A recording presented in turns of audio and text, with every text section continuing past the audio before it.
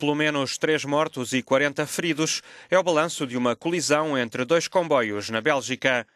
O acidente produziu-se pouco depois das 23 horas, hora local, na linha que liga as cidades de Namur e Liege, a menos de uma centena de quilómetros da capital Bruxelas, e envolveu um comboio de passageiros e outro de transporte de mercadoria.